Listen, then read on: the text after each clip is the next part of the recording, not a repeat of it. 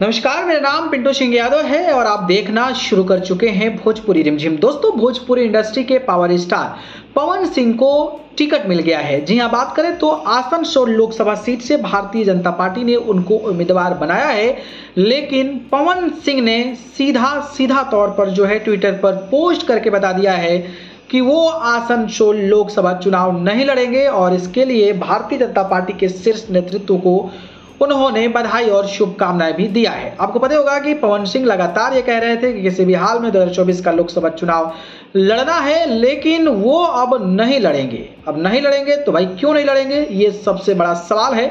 तो उन्हीं विषयों पर मैं चर्चा करने वाला हूँ कि वो क्या वजह हो सकती है, जिसकी वजह से पवन सिंह आसनसोल लोकसभा सीट मिलने के बाद गदगद नज़र आए, मिठाई भी खाए, पूजा भी किए, लेकिन एक दिन बाद अचानक से पलटी कैसे मार गए, इसको लेकर हम चर्चा करने वाले हैं। तो चलिए शुरू करते हैं और तीन वजह जो है, वो सामने आ रही है, जिसकी वजह से लगता है कि पवन सिंह आसनसोल लोकसभा सीट छोड़ दिए हैं। तो चलिए शुरू करते हैं और आपको बताते हैं।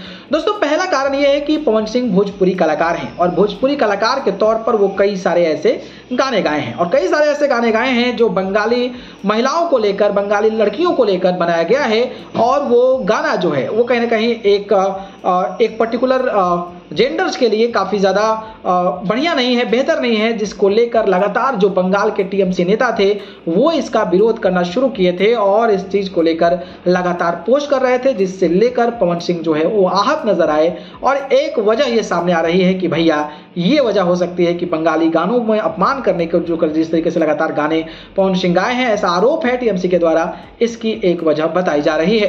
तो दूसरी वजह बताई जा रही है कि पवन सिंह को भारतीय जनता पार्टी ने टिकट तो दे दिया है, लेकिन भारतीय जनता पार्टी ने कुछ पवन सिंह पर कंडीशन रखा था, और कंडीशन ये था कि आपको टिकट तभी दिया जाएगा जब चुनावी प्रचार शुरू होगा तो प्रतिदिन, यानी कि डेली आपको पाँच रैली करना पड़ेगा। तो आप सोचिए, जो कैंडिडेट चुनावी मैदान में उतरा है और उस कैंडिडेट को अपने क्षेत्र में प्रचार करने की बजाय अलग अलग जगहों पर जाकर पाँच रैलियों को संबोधन किया जाएगा तो सोचिए कि टाइमिंग का क्या इश्यू होगा।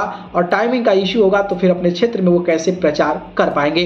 तो ये एक बड़ा कहीं ना कहीं पवन सिंह शायद नहीं कर पाते, इसलिए जो है उन्होंने इस तरीके की बातें सामने आई है। वहीं तीसरी वजह यह बताई जा रही है कि पवन सिंह हमेशा से चाहते थे कि वो भोजपुरिया जो क्षेत्र है, वहाँ से चुनाव लड़ा जाए, जिसमें कि बिहार शामिल हो गया, उत्तर प्रदेश शामिल हो गया, और खास करके वो आरा लोकसभा सीट चाहते हैं क्योंकि उनका गृह जिला है तो वो वहाँ से लड़ना चाहते हैं, लेकिन उनको इन जगहों से टिकट नहीं दिया गया, बल्कि मनोज तिवारी को दिल्ली से दिया गया, जहाँ पर भोजपुरी के लोग हैं।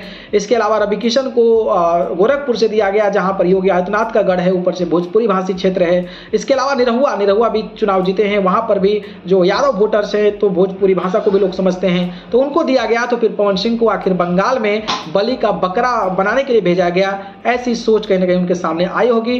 बाकी आपको क्या लगता है, क्या वो वजह हो सकती है कि पवन सिंह ने मना कर दिया है और प्रधानमंत्री के नेतृत्व में लगातार जिस तरीके से चर्चाएँ हो रही है कि अब की बार 400 के पार इसके बावजूद भी पवन सिंह वहाँ से चुनाव लड़ने से मना कर दिए हैं। क्या वजह लगती है आपको? कमेंट बॉक्स में ज़रूर बताइए। धन्यवाद।